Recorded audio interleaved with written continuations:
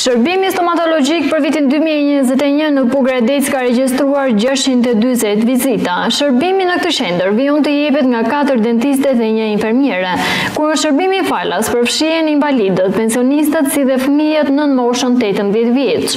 Dëmtimi i dhëmbëve mbetet një nga problemet më të theksuara tek individët. prandaj primare për këtë qendër ka qenë që kujdesi oral të jetë në lartësinë e duhur me medikamente dhe aparatura të cilat mundësojnë shërbimin ndaj pacientëve.